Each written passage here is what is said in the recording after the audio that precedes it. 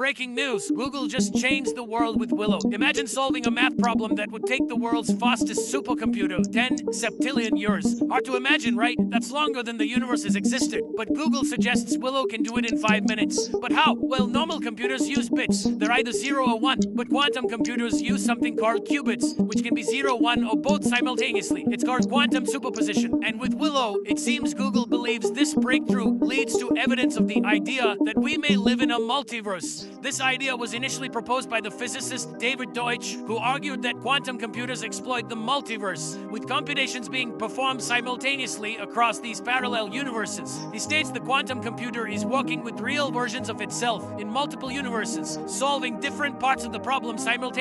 When the computation is complete, the interference between these universes ensures we get the correct solution. Now, this might be too heavy to digest, but when we're using quantum computers to discover new medicines, optimize fusion reactors, and modern new solar cells, it's going to be an interesting world in a few years.